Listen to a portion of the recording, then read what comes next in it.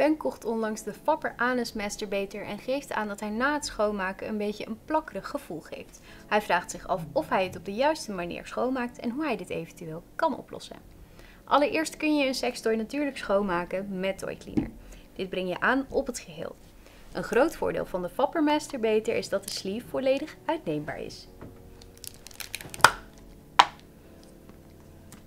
Wanneer je de sleeve hebt verwijderd uit de harde huls, kun je deze vervolgens binnenstebuiten keren. Wanneer je dit hebt gedaan, breng je de toy cleaner aan, spoel je het schoon met lauwwarm water en is het belangrijk dat je het droogt. Wanneer je dit hebt gedaan, kun je onderhoudspoeder aanbrengen. Dit breng je aan over de gehele sleeve voordat je deze in de harde huls doet.